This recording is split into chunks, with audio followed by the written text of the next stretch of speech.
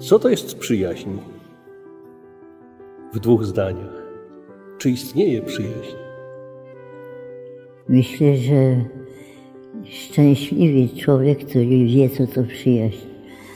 To jest taki układ między ludźmi, który nie niszczy żadnych wartości, akceptuje drugiego i razem mogą wspólnie działać, bo przyjaźń się rodzi w wspólnym działaniu.